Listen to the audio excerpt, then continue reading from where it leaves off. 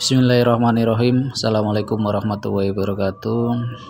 Semoga teman-teman semuanya sehat selalu Diberi rezeki yang lancar Barokah amin amin ya rabbal alamin. Oh ya ini saya akan melihatkan kursi tamu sudut guys. Jadi ini kursi tamu sudutnya seperti ini.